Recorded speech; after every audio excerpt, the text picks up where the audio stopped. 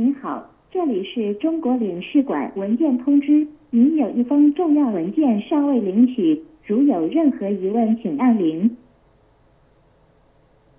Hello, here is the Chinese consulate document to inform you that there is a wait document that has not yet been received. If you have any questions, please ring the bell.